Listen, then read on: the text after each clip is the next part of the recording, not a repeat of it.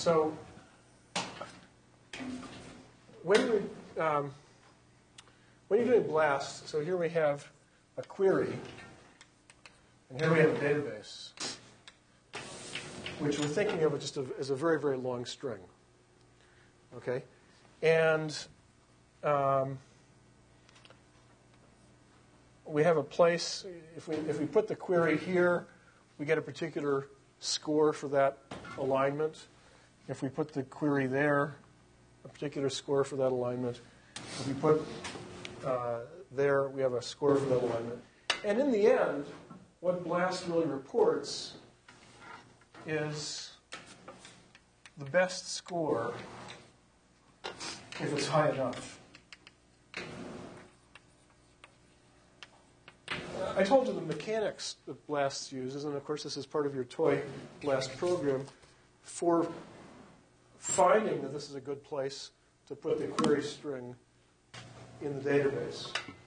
And I told you the mechanics for how uh, it's going to score uh, that particular position or placement. Okay, it comes back with a score S. And I told you that the E value, although BLAST uses something called normalized scores, it doesn't matter. We can just think of it as an alignment score. An E value is the expected number of times that with this query sequence on a randomized database of the same composition, BLAST would have returned a, uh, a hit with score S or better. Okay? So where does where do these e values come from? What's the uh, what is the formula for that, or at least what is the thinking that uh, goes into that? And I'm not going to tell you because it would just be a formula. But I do want to point out this that the whole issue of uh, best scores or the probability of the best score above some threshold, some S, or the, ex- or the expected value, expected, sorry, expected number of hits above S. That has to do with the maximum of random variables. Okay? So this is, comes from thinking about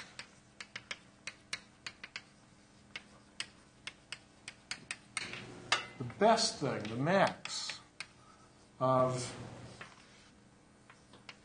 a set of random variables. Which random variables are we talking about?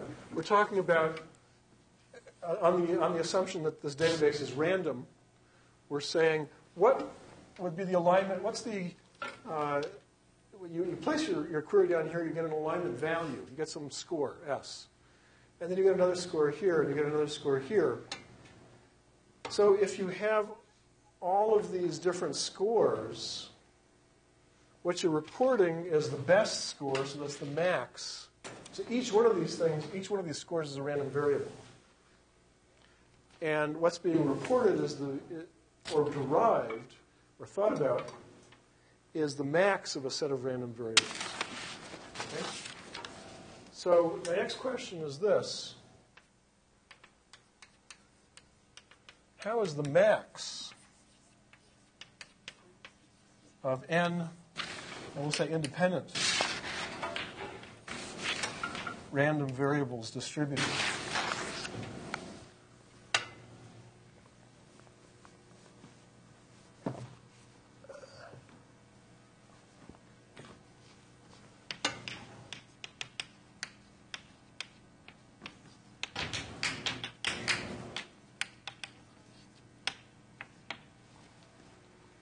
So uh, again, I have, just take this very abstractly. I have some probability distribution, and I sample independently a billion times, a million times. Okay? And I report, and each time I sample, I get back a number, a score, S. And now I, I want to report the best over all of those. Okay? What does that distribution look like? Well, let me ask sort of the flip question, flip side question. What doesn't it look like? All right. All right, let me, to get to that, what, what if I asked about the sum instead of the max? What about the sum of indep- n independent random variables?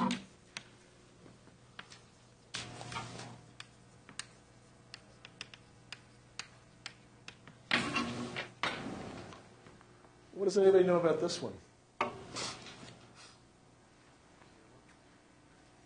Zero.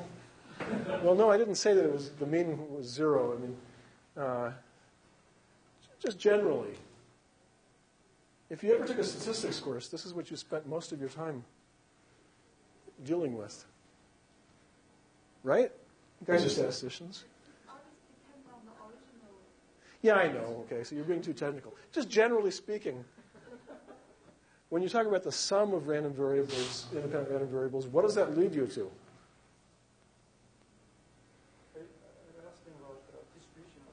Yeah, right. Different distributions, yeah, but we're biologists here. There's a simple answer. What? Who said that? Normal distribution, right. Okay. Yeah, I know. There's all kinds of little technicalities, and if you're a professional statistician, you worry about those little things.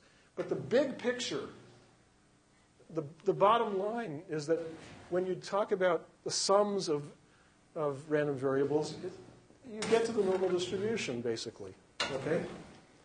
And the normal distribution looks like this, sort of. This is supposed to be symmetric. Okay, and now I'm just screwing this up because when we talk about the max, the max does not look like that. Okay? And this is the big mistake that most people make in thinking about statistics of matching is to somehow, whether they do it explicitly, which is sometimes people do, or implicitly, they somehow think that the max should be distributed like the normal distribution. Okay? And, and in reality, the max does not look like the normal. The, le- the max actually has a very long tail in the right here. And it's something called the extreme value distribution.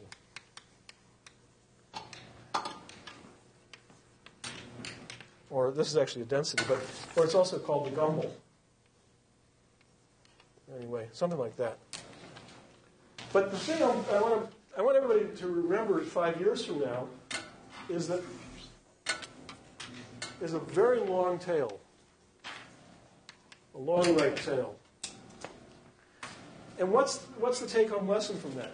If you see something that looks like a very nice max relative to the mean, okay, it looks like it's a couple standard deviations away. I mean, I'm normal, thinking of it as normal. If, was, if you thought it was a normal distribution and you're a couple standard deviations away from the mean of the normal, you might think that's really a big deal. You might think that's you found something important. You found something that was very different than random. Okay? You're taking the max, you're taking the best score from that database, and you're saying, this is a big score. This is a big S. But a lot of the times you'd be wrong because the true distribution of the max has a very long tail out here. It's not that unusual to have values that are very far away from the mean. And that's the take home lesson. Uh, next time I'll illustrate how a very famous geneticist made just this error uh, in confusing these two different distributions.